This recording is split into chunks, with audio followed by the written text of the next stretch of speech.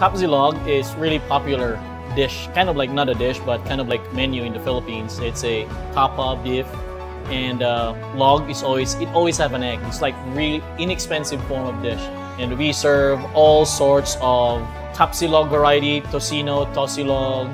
A lot of people come here because they want to try something different, and once they tried it, they keep on coming back.